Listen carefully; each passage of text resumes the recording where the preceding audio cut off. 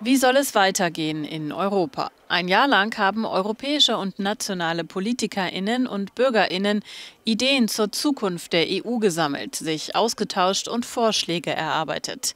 Anlass dazu war die sogenannte Konferenz zur Zukunft Europas, die an diesem Wochenende zu Ende geht.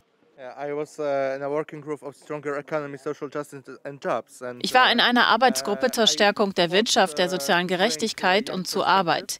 Ich habe mich dafür stark gemacht, eine junge Perspektive einzubringen und zu wichtigen Themen wie Wohnen oder dem ersten Job als Student. Mit der Einbindung von Bürgerinnen und Bürgern sind große Hoffnungen verbunden.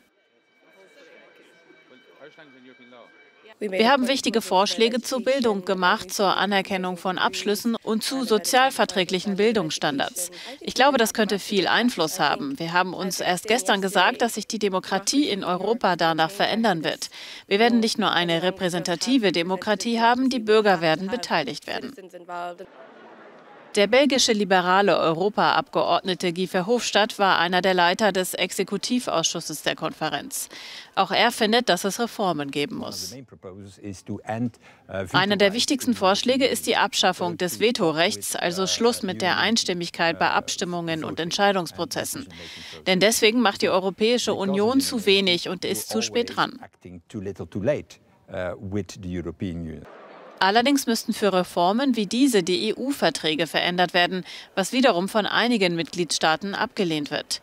Trotzdem werden die Vorschläge der Konferenz nicht vergessen werden, so die Europäische Kommission.